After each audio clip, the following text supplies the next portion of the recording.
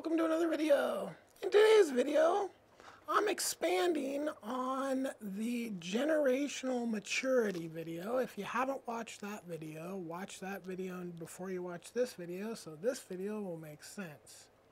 So, when I was growing up in the 1980s, a few times I remember being told or hearing or reading or whatever that basically the rest of the world was 20 years behind the United States at that point, right?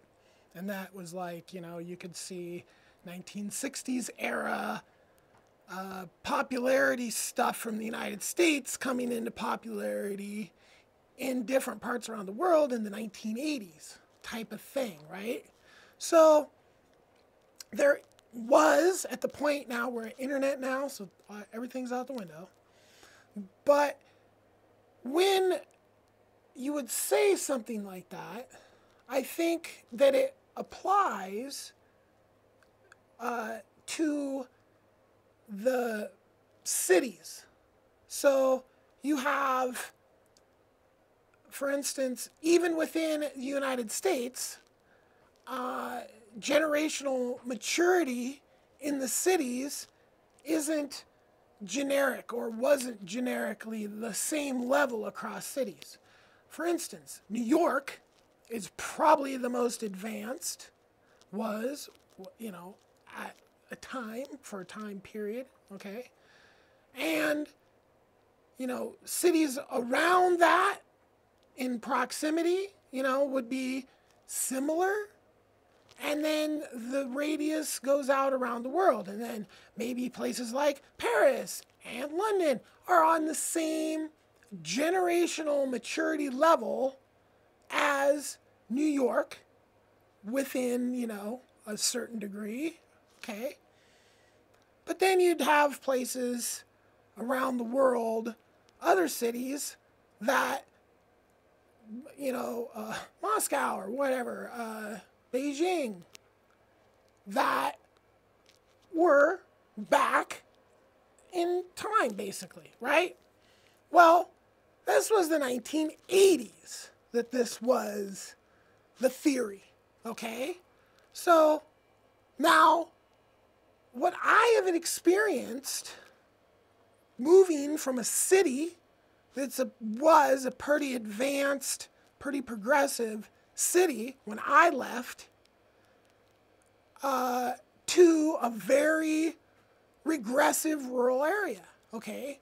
And I've noticed the generational maturity of the area I live in is, you know, depending on who exactly we're talking about, is at least 20 years in the past, but maybe even going all the way up to like you know, 50, 60 years in the past. Okay, the generational maturity level of rural areas is much lower than cities, drastically. And I'm going to use my experience with roasting coffee to kind of explain this. So I've been roasting my own coffee for like eight or nine years now. And what I get out of this roaster is just delicious.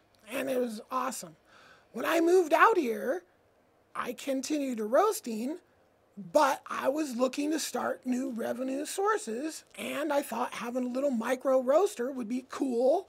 Hook my neighbors up with good deals on coffee. Okay. Long story short, I never could get the roaster dialed in, the big one that I spent a considerable amount of money on.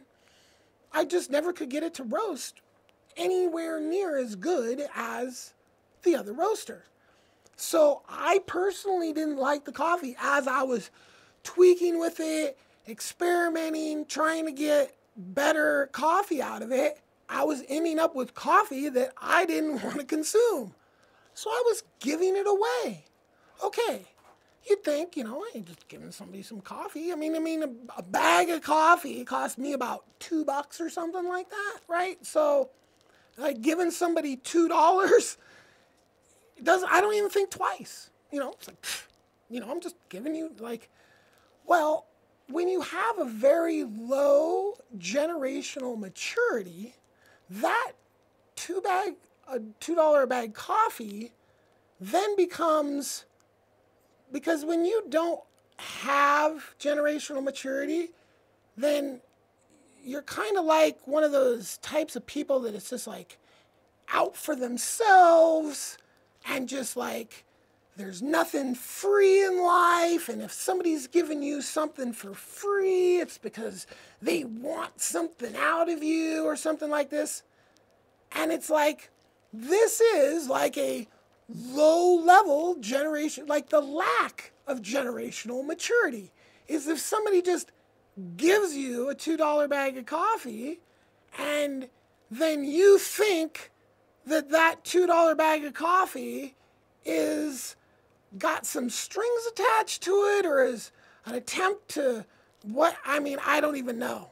But let's just say it's it's pretty bad what the generational maturity it is in this area. Like you literally can't give somebody a bag of coffee without them thinking that you're trying to I don't even know. Hook up with their wives, their daughters, their goats, their chickens, their donkeys, their dogs.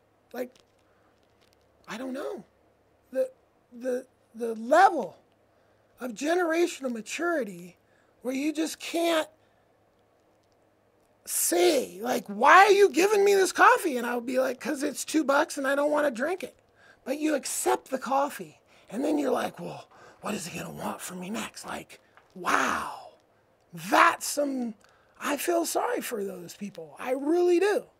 And it's like these poor, low IQ, with zero generational maturity people riddle the rural areas. It's super bad. They literally are living, and, and a lot of them would like to bring us all back, you know, depending on the person, you know, at least 50, 60 years, if not a few hundred, if not a couple thousand. They think it was just, you know, roses and peaches and stuff back in the past. And they have no vision of what the greatest possibilities of our human species are ahead of us. Okay? And this is generational maturity. If you're just such a caveman, I guess would be a great term, that you literally can't either accept the coffee and just, you know, be grateful, or if you have a question as to what the origins of the coffee were or why, you know, you would vocalize that as a person that had generational maturity. But if you're like a cave person, you just like, like take the coffee now. oh yeah, what are you gonna try to get from me now? I got your coffee. I ain't giving you nothing back. you know, that's like what I'm dealing with out here, and it's really it's kind of fascinating from an intellectual point of view what goes through cave people's minds, right? I mean, it's just fascinating to me, okay? So at this point, I think as far as the generational maturity is concerned, we have people that are connected to the internet and connected to the earth, and we have people who aren't. And it's hard for people like myself who are like so far advanced, I've written books about what a great future we could have in video form. You can actually watch them right here on this channel in the resource-based economy playlist right there. That's an entire book, how we could make this world, and this is like the pinnacle of generational maturity. So, taking everything that we have good about society and amplifying that to its maximum and deleting all the bad and having a wonderful world, which is completely possible. The only thing that's stopping that is people without generational maturity. And there's also a component to those same people without generational maturity. They're also people who are scarcity orientated people versus abundance orientated people. So we have people on earth that have had abundance and have abundance, and in their uh, relationship with the earth, they were living in abundance. Okay? Then we had the scarcity people come along and pretty much just murder everybody that was like that. Like all the pagans in Europe massacred by the scarcity crowd, okay, and then they came over and massacred the Native Americans and massacred over here, massacred over there, genocide over there. I mean, they've really been on a tangent to produce scarcity, right? And their idea of abundance is this monocropped nightmare that's going to collapse. Mm, yeah.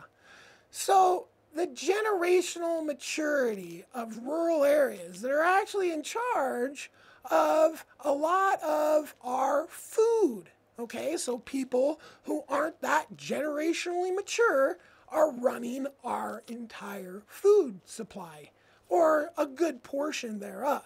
Okay, people who refuse to consider intensively grazing cattle and restoring grasslands and, and restoring wetlands. They just refuse, you know, to dig the well deeper. So this is really the one of the biggest challenges facing a perfect world is the lack of generational maturity that commingles with ancient cults. So if people are in a cult, it's very hard to grow maturity wise when your cult I mean, any cult really restricts your ability to think appropriately, regardless of the age of the cult. It could be a 2,000 year old cult, or it could be a five year old cult. A cult is a cult, and there is no generational maturity within cults. Okay? Very regressive organizations, cults. Okay? So, this has been a quick video about generational maturity. I coined the term. I started this whole conversation. If you like this video and want to see more of these videos, just subscribe. It's free. Hit the like button. Peace. Have a great day. Thank you for watching my video.